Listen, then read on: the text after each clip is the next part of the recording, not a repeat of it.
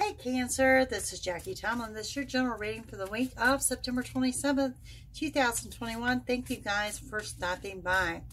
Um, as always, if you're seeking a psychic reading, it's jackietomlin.com or you will find a link in the description box below.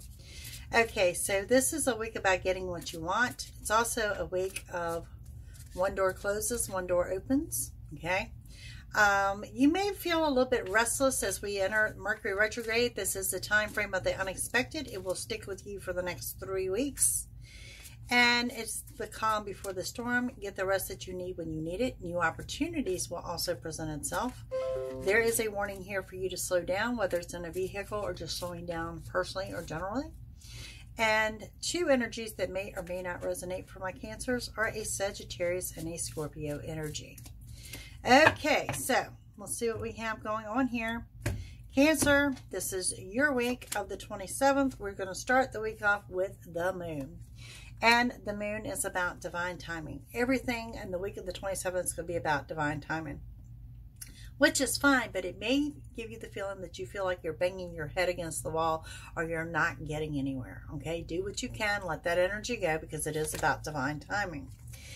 Page of Swords coming in. Happy, carefree, aloof. Maybe taking a day off just to play. I like that energy. Uh, also, a Taurus may or may not resonate. We have the Three of Wands. And the Three of Wands says that there's been a lesson that you learned very hard in the past. But because of that, your ship is going to come in. And we have the Five of Wands. Five of Wands. There's still some challenges. Okay, uh, for some of you, I'm torn between saying working career and saying it's at home on the family life. There are still some challenges ahead, and you are under that energy of the unexpected. Center of the reading, you guys are covered. There's the Magician, number one card in the deck. This is the one that says, this is your yes answer. This is everything you want desire. It will override everything here in your reading, um, and you're going to have to trust it, okay? So, guys, I can't make that up. There's the Chariot right beside it. Two best cards in the deck. Chariot, the same thing. You get what you want and desire, except for it comes in when you totally and least expect it, and it's going to come rushing in. With that, you have a celebration of some sorts. There is the Three of Cups. This is an unexpected get-together. This could be like dinner out, cookout, something like that. Just uh, three or more people. But yeah, Really good energy. And you have the Eight of Wands. And I love the Eight of Wands. Eight of Wands is total happiness, total contentment, love arrows flying around. And we have the energy of the Fool. Now, the Fool says, um, you're happy-go-lucky, carefree, but be warned of foolish decisions, but says you're ready to take a leap of faith. You know, I mean, Cancer, you're setting on the Magician, the Chariot, and the Fool. I don't think I've seen such an awesome reading for you guys in quite some time. So, let's go a little bit further with these messages, starting at the top with the Moon. And that's where I want to tell you, dig for your patience. You know, it is about divine timing, so just breathe and relax.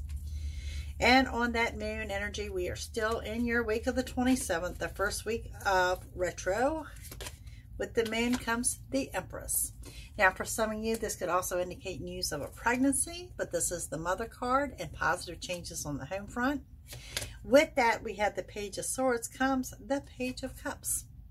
Unexpected offer of assistance. For some of you, it could be an unexpected offer of love. I want to throw out a Pisces energy as well. And then we have on that Three of Wands, there again, Eight of Wands has occurred here twice twice in this reading. The total happiness, the contentment, and the love arrows. With the Five of Wands energy comes the Six of Pentacles. And the Six of Pentacles is very simple. Financially, you're being restored. You're being reinstated. You're getting your balance back. You're getting your mojo back. Uh, believe it or not, you're actually going to have the money to help someone else out. So you're, you're doing well. On your Magician is the Three of Wands again. Uh, the waiting for the ship to come in. And on the chariot energy comes the Queen of Swords. Queen of Swords energy, this could be Virgo type energy. Um, someone who may kind of lash out at you, may get a little catty with you. I don't see a confrontation, but you do need to know it's present. On the Three of Cups, we have, again, the Page of Swords. Taurus again. Happy, carefree, go-lucky, friendships, things are good. Eight of Wands comes again with the Chariot. Wow, double chariots and a magician. The unexpected. The unexpected, you get everything you want. Okay? This is beautiful. And on the Fool, we have the Four Swords. This is the calm before the storm. Enjoy. You've got an awesome week ahead. It's telling you to enjoy and savor every moment. Knight of Wands coming into play. Okay, it doesn't mean this week, but this is someone moving in the home, someone moving out the home. If there's no movement, it is a major renovation around the home front. Cancer, you've got a perfect week ahead. Enjoy. So, thank you guys for watching. Um, have a wonderful week. JackieTomlin.com. See you next week. Bye.